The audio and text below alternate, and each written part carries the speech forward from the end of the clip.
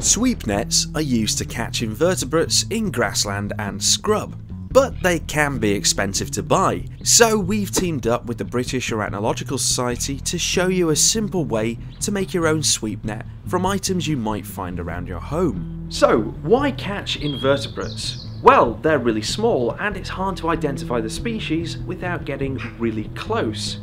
Knowing what species they are lets us understand their distribution and their abundance, and how this changes as a result of climate change and changing habitats. To make the sweep net, you will need an old tennis racket, an old pillowcase, some drawing pins or cable ties, and a pair of scissors.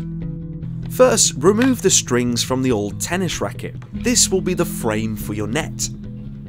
Next, attach the open end of the old pillowcase around the edge of the frame, using the drawing pins if the frame is wooden. If the frame is made of a composite material such as carbon fibre, make small holes around the edge of the pillowcase where it meets the racket.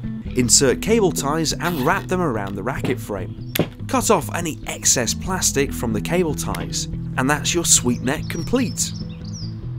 Use a net on a warm and dry day in long grass. Avoid any spiky vegetation such as brambles, these might rip your net. Sweep the net in a figure of 8 motion through the grass for a few minutes.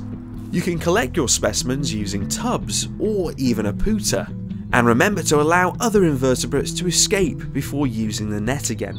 That's all from EcoHow this week. We have an info pack showing you how to make the sweep net on our website links in the description below, and find out more about the British Arachnological Society from their website. Catch you later!